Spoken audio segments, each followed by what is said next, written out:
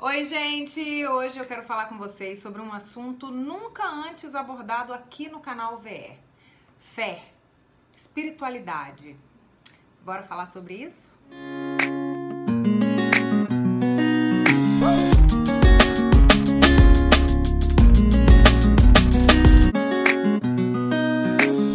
Então, por que, que eu resolvi né, falar sobre esse assunto aqui no canal?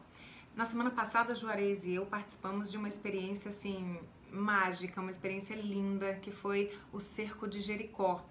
É, o Cerco de Jericó foi uma, um evento, né, que o Padre Anderson faz há três edições aqui na comunidade Nossa Senhora do Perpétuo Socorro, que é a igreja que a gente frequenta. E esse ano a gente resolveu participar. Eu não sabia direito o que, que era o Cerco de Jericó. Você sabe? Não? Bom, então eu pedi pro próprio Padre Anderson para ele mesmo explicar pra gente. Olha só. Ciro Jericó é inspirado na passagem bíblica Josué capítulo 6, onde vem o momento da conquista. Josué tem para chegar a Jericó, tem uma grande muralha, e Deus dá essa inspiração a ele que iria vencer aquela cidade sem nenhuma batalha. Cada dia o povo daria uma volta em voltas das muralhas. Uma volta um dia, outra volta, cantando, louvando. E no sétimo dia eles davam, deram sete voltas. E na sétima volta as muralhas caíram e eles puderam conquistar a cidade. Lógico, o contexto ali é um contexto que não é a nossa realidade. Nós não estamos querendo si, é, colocar aqui a violência, porque ali foi muita violência. Eles conquistaram a cidade, muitos morreram e tomaram aquele lugar.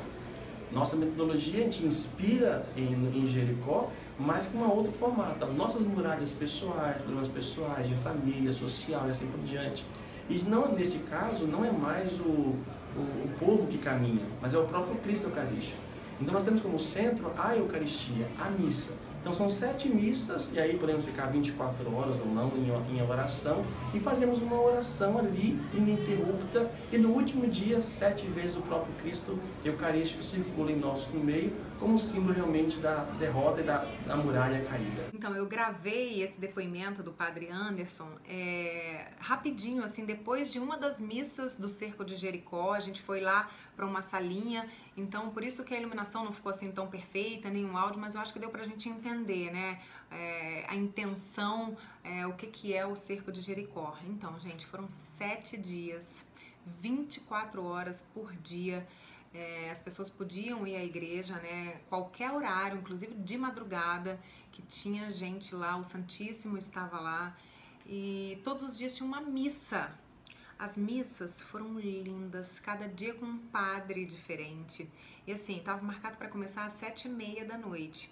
Mas para você conseguir sentar, eu, por exemplo, cheguei lá junto com o Juarez todos os dias, seis, seis e dez, assim, uma hora e meia antes, porque foi muito prestigiado, sabe? As pessoas realmente quiseram participar, quiseram conhecer. E quem foi na segunda, que foi o primeiro dia, não faltou na terça nem na quarta, enfim. Foi uma experiência mágica e a abertura foi feita com o padre Renato Cristi, que foi pároco aqui da comunidade Nossa Senhora do Perpétuo Socorro. Hoje ele é da Catedral, né, no centro de Vitória.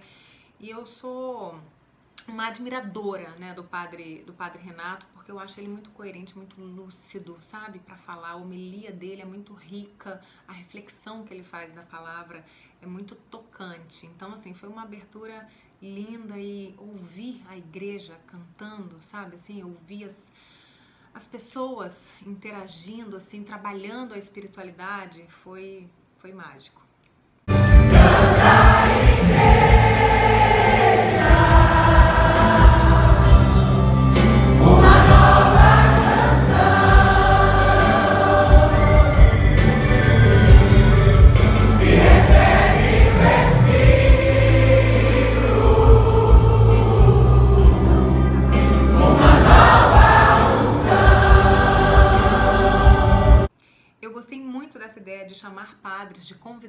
Padres de outras comunidades, né, de outras paróquias, porque é, houve uma interação muito grande, né? Cada padre tinha uma característica, cada padre tinha uma intensidade, né? Na hora de, de rezar, na hora de, de se apresentar. O padre Diego é um padre, assim, que trabalha muito com humor. Então, a reflexão dele, é, sabe? Desconstruía um pouco aquela seriedade, aquela coisa... É, sabe, fechada. Pelo contrário, ele, ele conseguia pregar com humor, fazendo a gente rir, fazendo a gente ficar mais leve. Teve o padre também, João Marcelo, que é da comunidade de Laranjeiras, que, sabe, uma, uma delicadeza ao falar, uma, uma forma reflexiva que trazia a gente realmente para introspecção, para autoavaliação. Enfim, cada um foi participar do Cerco de Jericó com uma, com uma intenção, né, com uma expectativa. É, mas o que eu achei mais válido de tudo isso é que é, houve uma uma reaproximação. Aí eu tô falando por mim, né? Uma, um, um ardor maior para eu trabalhar e para eu expressar a minha espiritualidade, a minha fé.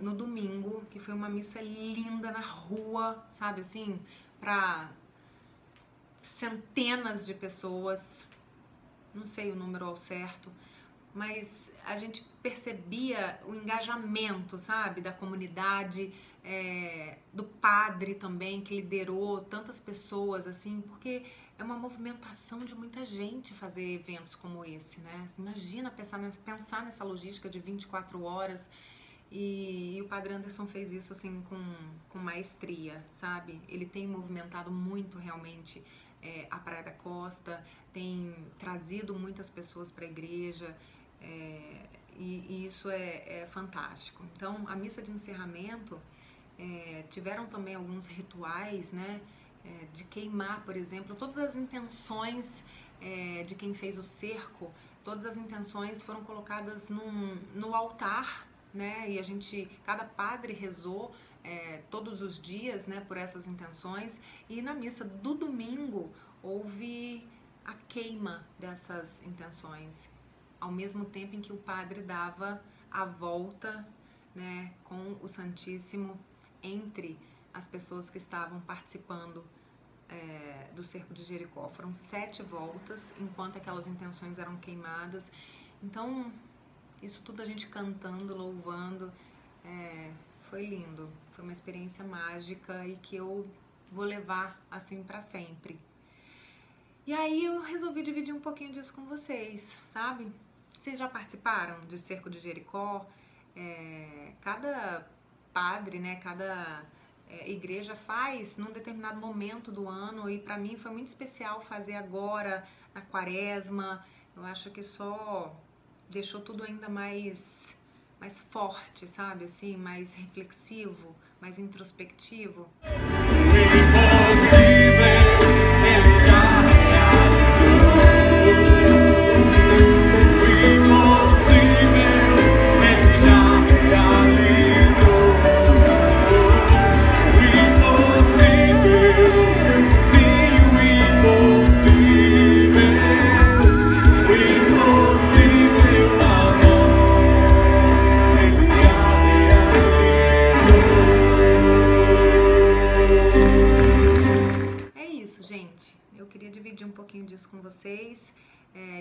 Deixassem aqui nos comentários também se vocês já participaram do cerco de Jericó, quais muralhas que caíram, sabe? Qual intenção você fez esse cerco de Jericó? enfim, cada pessoa tinha uma intenção, cada pessoa tinha uma muralha para derrubar. E eu queria saber da sua. Você já fez? Você já se permitiu participar e aprofundar um pouquinho mais essa espiritualidade? Conta pra mim, tá bom? Se você gostou desse vídeo, dá um like aqui, compartilhe também, se inscreva aqui no canal, porque a gente vai falar sobre tudo daqui pra frente, tá bom? Sobre fé, espiritualidade, viagem, gastronomia, moda. Conto com vocês. Beijos. Tchau.